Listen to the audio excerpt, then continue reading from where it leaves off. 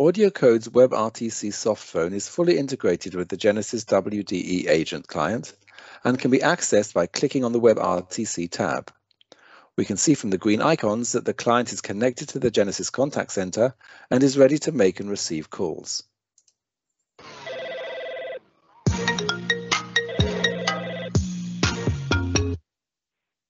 AudioCodes WebRTC softphone offers a seamless experience for Genesys agents.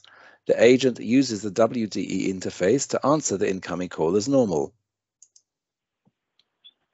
Thank you for calling the Mortgage Center. Please hold. He can also use the standard call control toolbar at the top of the screen for activating functions such as call hold, resume, forwarding, conferencing, and ending the call. AudioCodes WebRTC client also offers real-time call transcription, which the agent can activate simply by clicking on the bot icon.